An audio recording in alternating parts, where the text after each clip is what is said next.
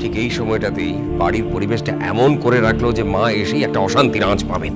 এক্ষুনি কথাগুলো কে বলল দিব্য? আমি? মা মা প্লিজ, মা, আমার লক্ষ্যে শোনা মা প্লিজ এরকম করো না। প্লিজ বাপি। আচ্ছা ঠিক আছে। বাপি যে কথাগুলো বলেছে সেগুলো বাপির বলা উচিত হয়নি। কিন্তু তুমিও আর এরকম করে রিয়াক্ট করো না প্লিজ মা, দেখো, ঠাম্মা কিন্তু আমাদের ভেতরকার কোনো কথা জানে না। ঠাম্মা শুধু শুধু ভাববে যে এসো মা। এসো ধরো আমায় ধরো।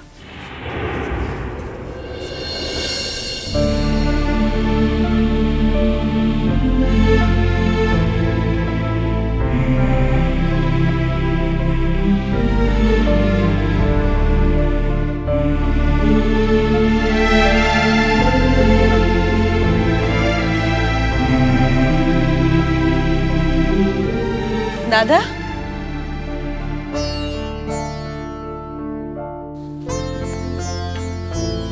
মা থাক থাক থাক বাবা। বাইরের জামা কাপড় তো- তোমাদের আসতে এত দেরি হলো কেন? কখন থেকে ছটফট করছি? যে কখন বেরোনোর কথা ছিল? আরে দাদা সে এক কাণ্ড। ছটা বাজার আগেই তো আমরা বেরিয়ে পড়েছি। তুমি তো জানো কোথাও বেরোনোর থাকলে মার কত তাড়াহুড়ো লাগে। ছটায় বেরিয়ে আসতে এত দেরি হলো কেন? গাড়ির টায়ার পাংচার। রাস্তায় কাছাকাছি কোনো গ্যারেজও ছিল না। এইসব মিলিয়ে আর কি। তারপর আবার কাবুল খেয়েও বেরোয়নি। মা রাস্তায় খাওয়ালো। কি করব? মা মা তোমার কোনো কষ্ট হয়নি তোমার?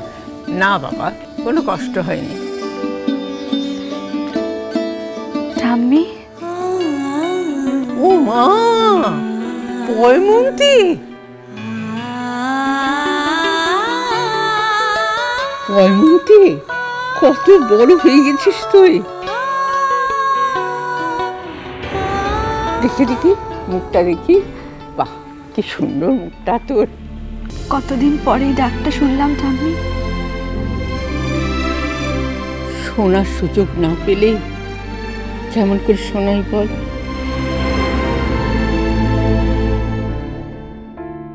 বৌদি? ও বৌদি তুমি এত দূরে কেন দাঁড়িয়ে আছো?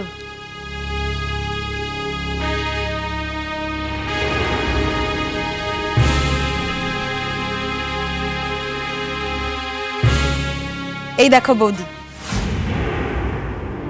মা তোমার জন্য কি সব এনেছে? সব কিছু নিয়ে এসছে শাক পাতা কিচ্ছু বাদ দেয়নি।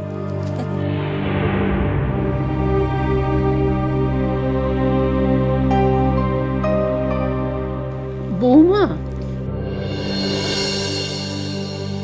থাক থাক থাক বা, থাক থাক থাক হয়েছে ভালো আছে তোমার? আপনি কেমন আছেন? ওই একরকম বুড়ো বয়সে যেমন থাকে সেরকম। চেঞ্জ করবেন তো? না একেবারে স্নান করব। জয়া তুমি তাহলে মাকে গেস্ট রুমে নিয়ে যাও।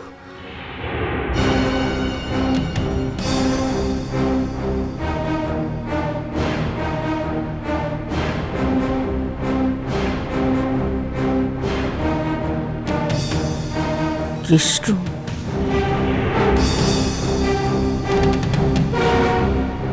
ওই রুমটাই ওনার জন্য রেডি করেছি।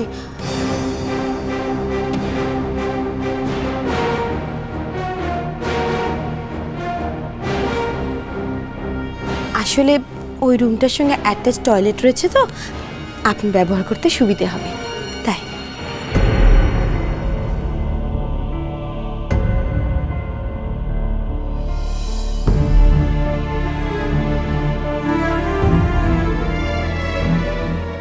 বৌমা,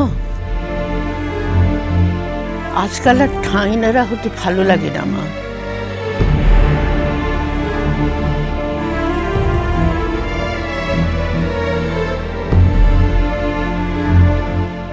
জয়া এমন করে বলল, তারপর দিব্যর ফোন। তারপর তোমার মেয়ের ফোন।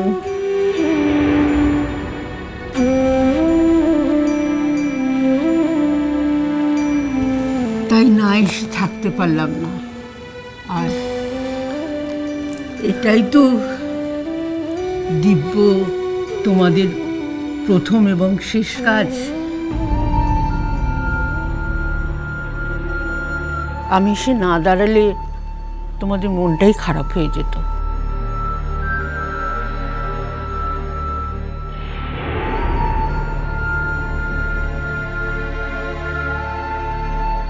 তাই না এসে পারলাম না।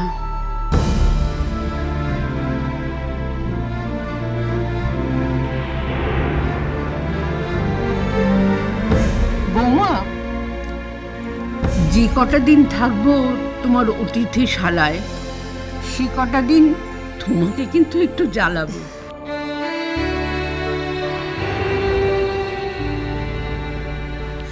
আচ্ছা তোমার ওই অতিথি শালায় আমার গোপালকে নিয়ে যেতে আপত্তি নেই তো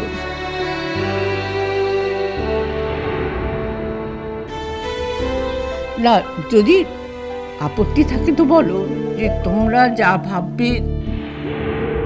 তোমার বাড়ি, তোমার সংসার, তোমার মত ছাড়া আমার তো কিছু করা উচিত নয়।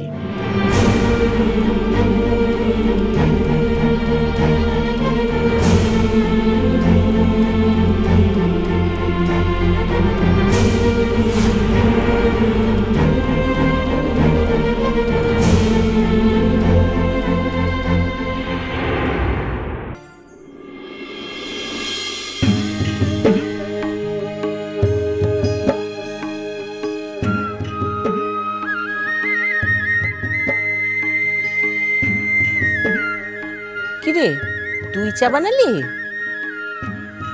ও ছোট মাটো তো মুখে বানাইতে দিলে খেলাই। আমি বানাইলে না বুঝতেইস চাটো কিমন খেতে হয়। হয়েছে হয়েছে। তুই এখন থাম দেখিনি? উফ মুখে একেবারে জগৎ মারতে ওস্তাদ। আমার চা কোথায়? সত্যি তো জেঠুর কাপ কই রে? ওকে তো গ্লাসটাতে দিলাম মোটে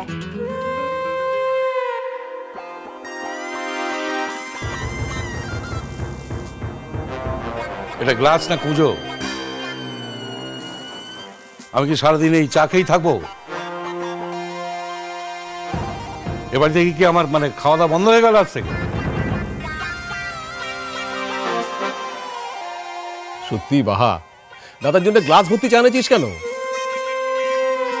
দাদা এত চা একসঙ্গে খায় কোনোদিন? ওর লস্যি নেওয়াটা আমি বন্ধ করে দিয়েছি না? তার লিগে ও তো আমার সাথে কথাটাই বলছে না। তাই ভাবলাম চাটা একটু বেশি করে দিলে যদি আমার সঙ্গে ভাবটো করে।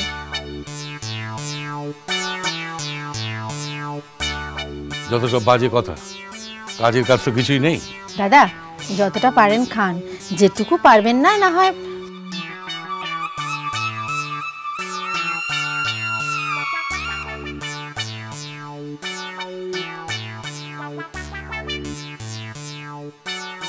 আহা গো। ছেলেটা আমার একেবারে রোগা হয়ে গেছে গো। লিসার জিনিসটা দুঃখে ছেলেটা একেবারে কচি হয়ে গেল। ওকে আমার সঙ্গে ঠাট্টা তামাশা করতে বারণ করো। সাহস বড্ড বেড়ে গেছে। আচ্ছা বলু তোমার না মানে কাকে নিয়ে আসার কথা ছিল এ কদিনের মধ্যে? সে কবে আসবে? হ্যাঁ দাদা ও বোধহয় কালকে আসবে। মানে ওর ওই আত্মীয় যে অফিসে কাজ করে ও তো বলছিল যে আজ নয় কাল।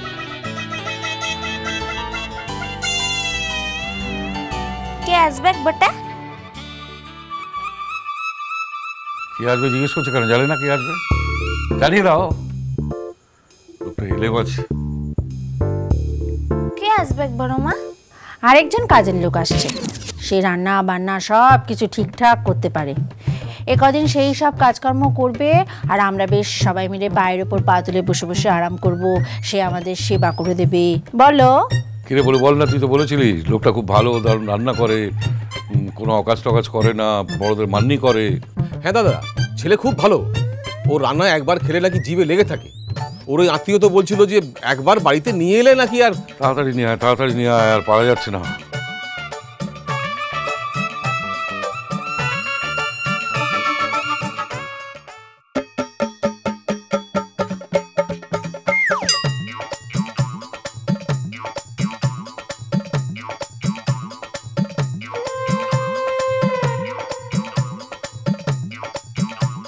ওমা ও কি? কত বড় সাহস দেখো। আমার নসি কোটোটা এইভাবে ছুঁড়ে দিল?